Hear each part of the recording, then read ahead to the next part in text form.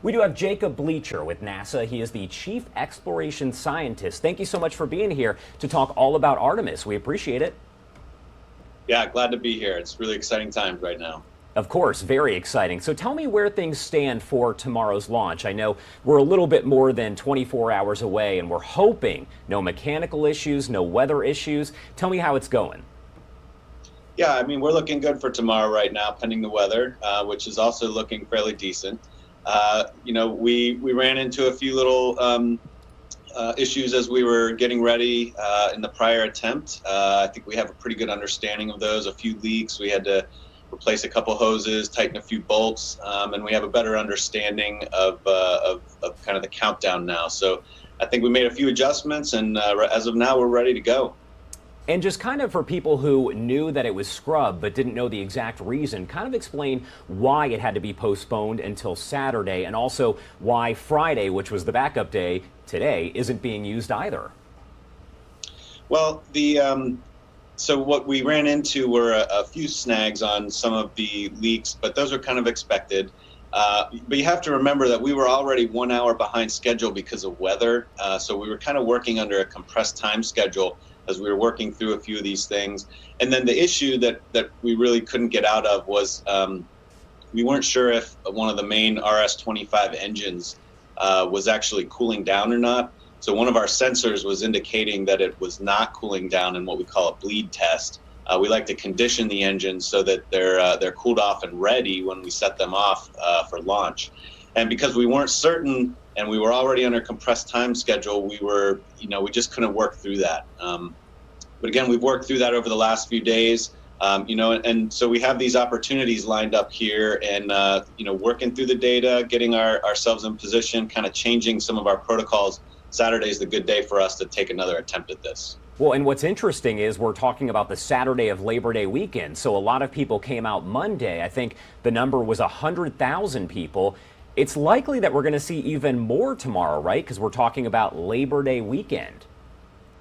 Sure as possible. I mean, it, you know, you got a long weekend and an exciting launch, so why not put those together and uh, and come come on a trip down here to uh, Cape Canaveral and take a look it's definitely exciting. I mean, the, the air around here is just kind of, you know, it's really hard to describe how it feels right now. And, and I think the support that we're feeling, you know, locally here in the United States, but also worldwide, it's it's a good feeling right now. So we're ready to go. And that's another question here is how are you personally feeling? I know everyone's excited, but tell me how you're feeling now as we near this launch date. Yeah, you know, this is, uh, I've never felt anything quite like this. You know, th- this is all but overwhelming. Um, but we're doing a job, right? All of us are working here, trying to, to get to the to the common point. I think when we do actually get this thing off the ground, it'll it'll be interesting to see how we all respond to it. But um, you know, it's for me, it's been fun. I, I like to walk over to the launch pad at, at night, or uh, if I get a break during the day, and just watching our workforce kind of come up and uh, and you know say their goodbyes to uh, to the vehicles, kind of you know, I don't know. It's really hard to describe this this feeling. Yeah, you kind of grow close to them here. But how does the Artemis program actually differ from the Apollo? How is this all different? I know obviously we're talking decades later, but how does it differ from Apollo? Yeah, you know, I think the words you used in the beginning, we're, we're kind of turning a new chapter here. Um, and, you know, chapters are part of a book, and we're really talking about the book of exploration here. So, Apollo was an early chapter. Uh, we learned about going to the moon. We landed near the equator on the near side of the moon. So, we learned a lot about getting to the moon, spending a little bit of time there, and coming back. Since then, we've learned about living in space in low Earth orbit on the International Space Station, the shuttle.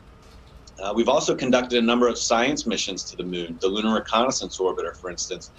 All of the information we've learned from exploration and science in the last 50 years puts us in a position for Artemis to uh, to fly Artemis 1 and learn about our vehicle, and that will put us in a in a spot where we can land astronauts in Artemis 3 at the South Pole. And that's that's kind of a new place for us, and we think there's water there, which makes it a really exciting destination for us. Yeah, so the question is how long until we're able to go to Mars and can I I guess get on the ship?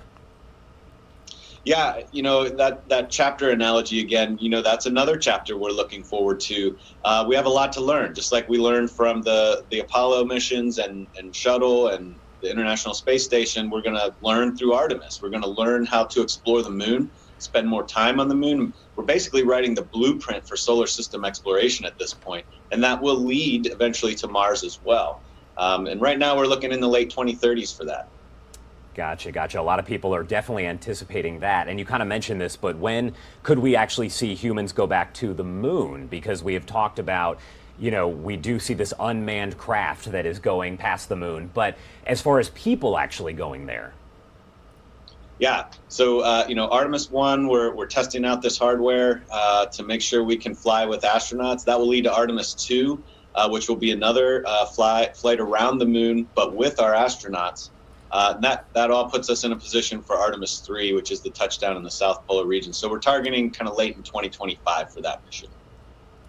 All right, awesome. Thank you so much, Jacob Bleacher with NASA. We really appreciate you taking the time uh, to join us here and talk to us on the program, especially about something that we are super excited about here. Yeah, I appreciate the opportunity to chat with you. I hope you get a good view of it, uh, view of it tomorrow. I mean, I'm going to be running outside, so I hope so. Thank you again.